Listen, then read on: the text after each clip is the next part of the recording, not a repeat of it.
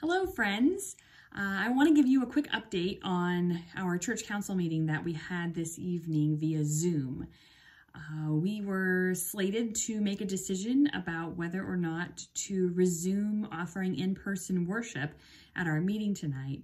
Uh, but instead, we have decided that the best thing to do to help us understand what our next step is at Bethlehem is to hear from our congregation.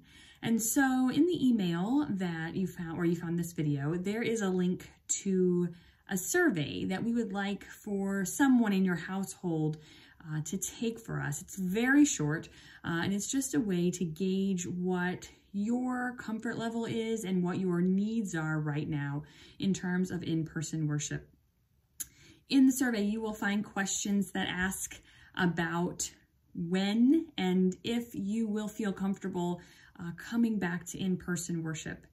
I want to encourage you to answer those questions, um, not aspirationally, but rather uh, as honestly as you can. We are really trying to gauge who might come to worship if we offered in-person worship. And so we want you to really think about what your family will do uh, in the coming months if it is offered.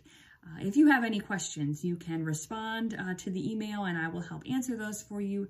Otherwise, we look forward uh, to collecting your responses and um, we are going to meet again uh, a week from today on next Monday night uh, to make a decision about what we do next, uh, based in part on the answers that we receive from this survey.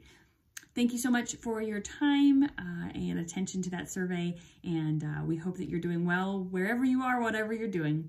Take care. Bye.